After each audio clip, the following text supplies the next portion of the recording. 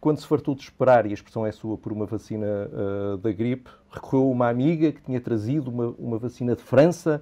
Não acha que este uh, tipo de comportamento uh, se pode assemelhar àquilo que costuma criticar àquelas pessoas que têm contactos, poder e capacidade de escapar às armadilhas do sistema? De maneira nenhuma é essa situação. E obrigada pela oportunidade de esclarecer. Eu não tirei nenhuma vacina a ninguém Aliás, se calhar até disponibilizei uma vacina para quem não, ainda não tenha, visto que apanhei, apanhei uma trazida de França. Não passei à frente de ninguém.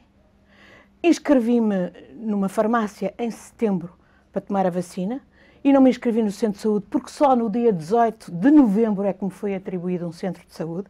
Tive mais de um ano à espera. Não fiz nenhuma ilegalidade.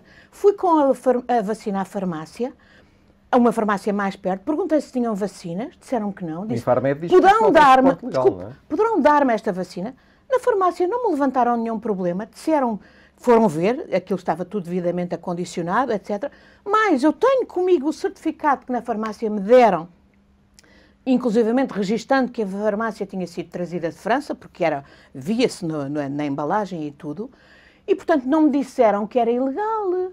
Há aqui problemas terríveis de disfunção na justiça. Sim, essa tem que ser uma questão primeira de, de, de, quem for Presidente da República. O que eu não farei, certamente, olhe, é isto que fez agora o Presidente Marcelo Rebelo de Sousa, que veio dizer, numa reunião uh, partidária do seu partido, uh, a propósito do, dos 40 anos do aniversário do, do, da morte do, do Sá Carneiro e de Adelina Mara da Costa, que e outras pessoas, é? exatamente, que uh, estar convencido que era, pessoalmente, que era um atentado. Este episódio mostra que o professor Marcelo Rebelo de Sousa é o maior instabilizador da, uh, da democracia em Portugal neste momento. Uh, há um julgamento sobre a justiça. E, para mim é intolerável que se admita que o Estado tem um, um relatório que compromete o Estado a todos os níveis, incluindo a própria justiça, chega a uma conclusão que não responde à verdade. E estamos a falar do assassinato de um primeiro-ministro. Porquê é que acha que, que não consegue unir o PS à volta da sua candidatura? É que, não, é que na verdade, quer dizer, não ter algo, meia sempre... dúzia de notáveis comigo, alguns até é melhor que não estejam comigo. Não é claramente o caso de, de Ferro Rodrigues. Há alguns é até melhor que não estejam comigo. Mas não vou dizer. Não é preciso dizer. Eles sabem. Eles sabem. Há pessoas que eu até agradeço que não me apoiem. António Costa é um deles? Não, António Costa, não tenho, nunca tive ilusões que ele não apoiaria, nenhumas ilusões.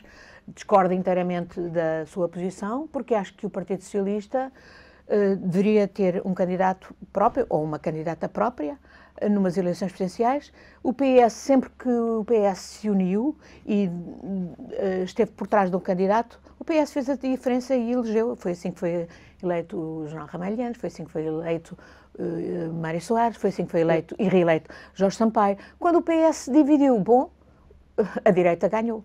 Tem acusado Marcelo Rebelo Sousa de ter sido muito, demasiado próximo do governo socialista. Pode-nos dar um ou dois exemplos de vetos que teria feito e que Marcelo Rebelo de Sousa não fez? Uh, nunca teria uh, feito este acordo com o Chega, já referi, uh, uhum. aceito o acordo dos Açores, e, e, e, porque penso que esse acordo é extraordinariamente instabilizador da democracia em Portugal. Não tem apenas o objetivo de mudar a direção do PSD, mas tem também o, o, o objetivo de, no fundo, uh, condicionar o, o período pós-Costa no próprio PS. Uhum. E, portanto, o que vai seguir-se em Portugal parece-me bastante uh, perigoso se Marcelo Rebelo de Sousa fosse, uh, continuasse a ser Presidente da República. Espero que isso não aconteça, espero ser eleita.